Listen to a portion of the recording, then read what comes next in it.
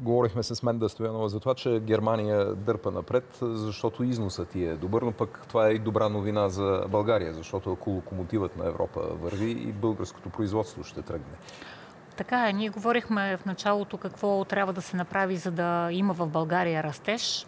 Ами трябва да се възстановява производството и износа от това производство и все повече той да се фокусира и към трети страни. Към момента България около 67% от своя износ е насочен към Европейския съюз и а, всяко сътресение в страните от Европейския съюз рефлектира и в България. Има много важни теми, които присъстват във вашата програма на ГЕРБ. Само в началото да кажем, че кога ще излязат вашите на, на ГЕРБ, имам предвид позициите, кой къде ще бъде на предстоящите листите? Ами в понеделник официално ще бъдат обявени листите. То и следващата седмица, до края на седмицата, мисля, че до четвъртък или петък е срока официално тези листи да бъдат регистрирани в ЦИК. Какъв анализ направихте на досегашното управление и на това, което се случи? Защото този, на, на базата на този анализ ли стъпихте в тази програма? Да, категорично. Във всяка, една, във всяка една от сферите беше направен детайлен анализ на това какво се случи, какво не успяхме да случим и защо някъде резултатите бяха негативни.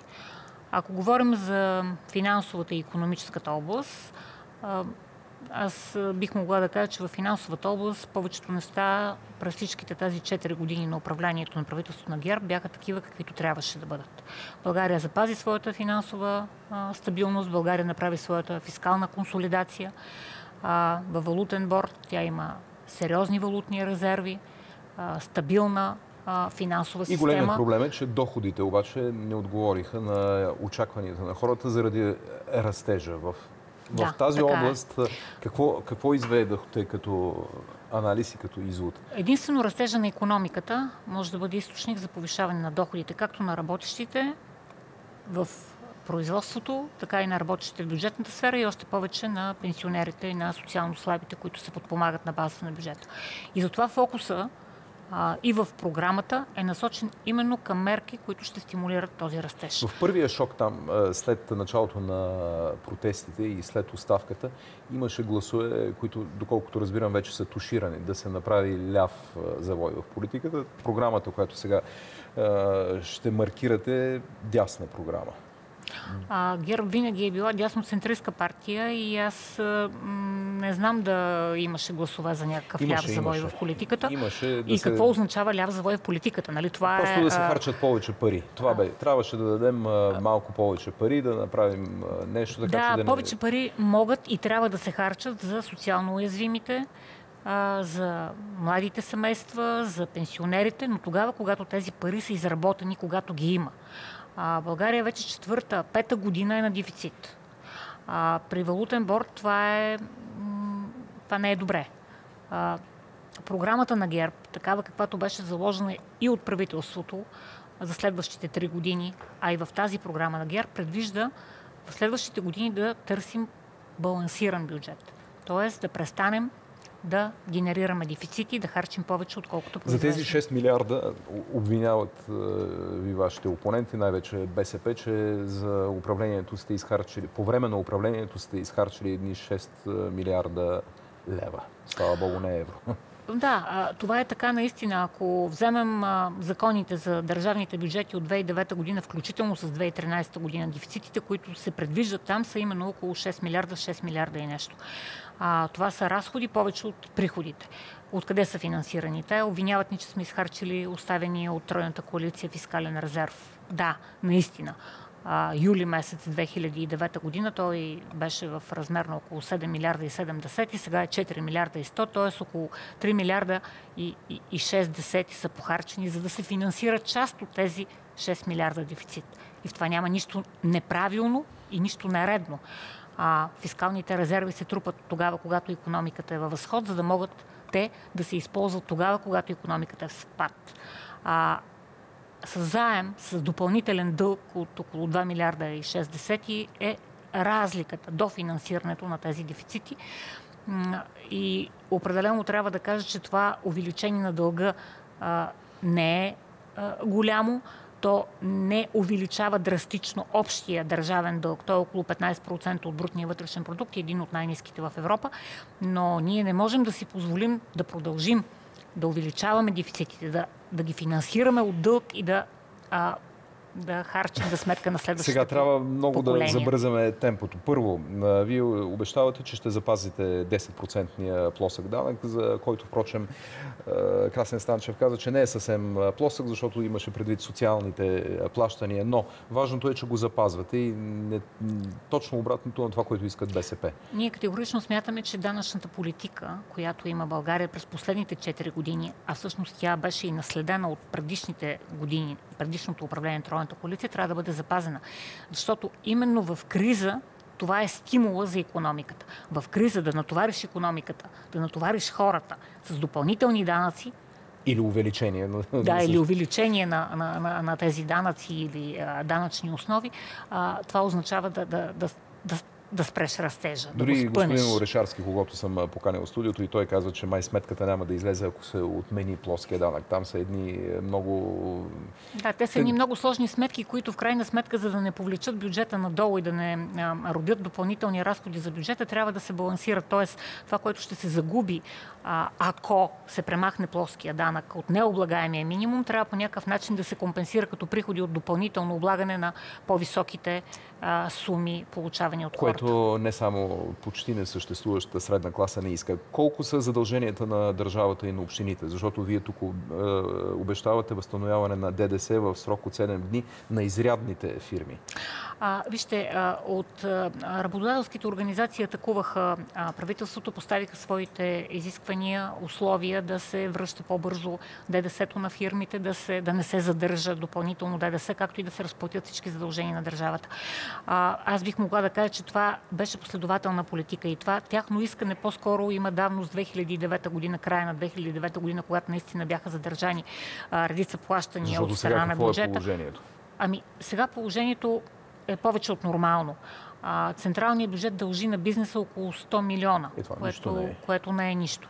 Общините дължат около 100 175 милиона. Впрочем, Румен Радев от Асоциацията на индустриалния капитал каза в това студио, че няма задържане. Но, а, аз искам да, да кажа и за ДДС, защото то е много важно. Много често се говори, че се задържа ДДС. Няма такова нещо. Лично следя ДДС от последните 4 години и трябва да ви кажа, че а, последната година то е на едно от най-низките си нива.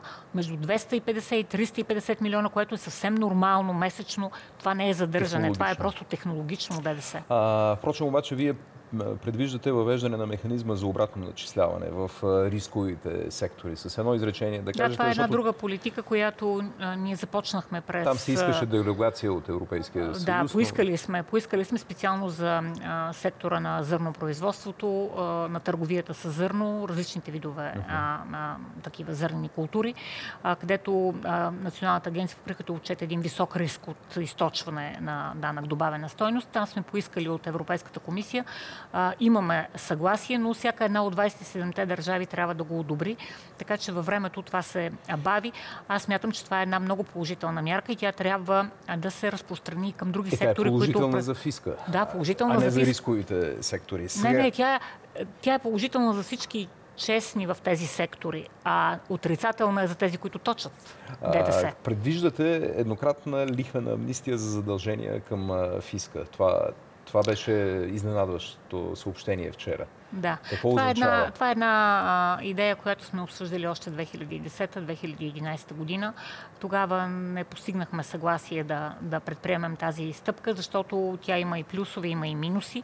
Ами, това означава е, един, реверанс, един реверанс към бизнеса. Не бих казала само малки и средни, въобще бизнеса в една тежка а, економическа криза, тогава когато има и криза на ликвидност, държавата прави своя жест и казва тези от вас, които в рамките на няколко месеца ще има срок, естествено, успеят да платят главниците по своите задължения, ние ще упростим лихвите Ефектът на, какъв на би бил фирми. за бизнеса? А, мисля, че за бизнеса ще бъде добър ефект, особено за онези, които от години имат задължения и лихвите растат лавинообразно.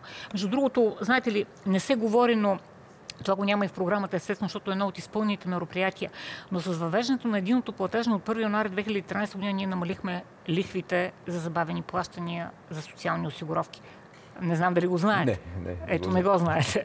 А, Добре. А, новина, а това също новина. е реверанс към бизнес. А, вчера в студиото беше Красен Станчев и Владо Кароле в един твит коментира програмата. Общо взето са доволни са, но казват, че нищо не казвате за здравната и пенсионната система. Пенсионната система, която е фалирала, въпреки че казвате възстановяване на швейцарското правило за усъвременяването на пенсиите, обаче и едно многоточие, учитане на ръст на економиката и нивото на заетостта.